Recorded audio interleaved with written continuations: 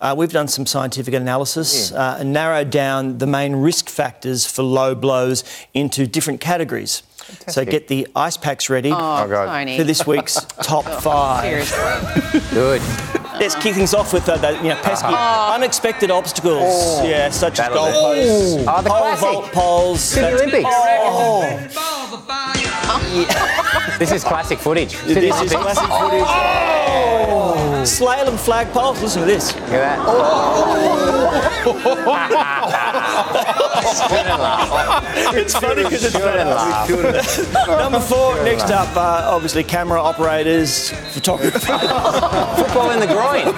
It's Barney Gumble's f- short film. exactly. Oh, no. it's tough. Look, yeah, we know where it hit. you. We know. Ooh, sorry about that. Uh, number three, look, being a, a referee uh, is also dangerous. Ref? Look, celebration. Oh, Sousa.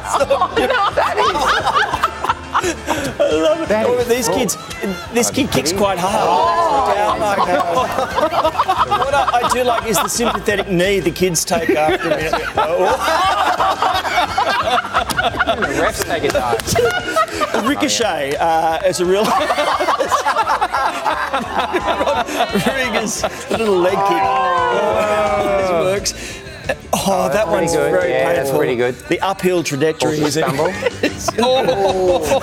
Bash, I love it. Oh, number and one. number one, Yeah, I'm on the edge of my seat. projectile. Oh, Mitchell Marsh. That is that's quite That out? brutal, actually. Now that I see- see it again Look at from. Mitchell. Oh. Yeah, that, that, that's flush. Luckily, he had the sandpaper in there.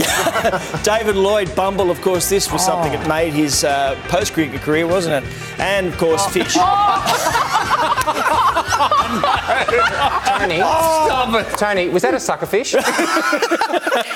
No, I think it was a groper. Oh, it's a Coming up. Flathead.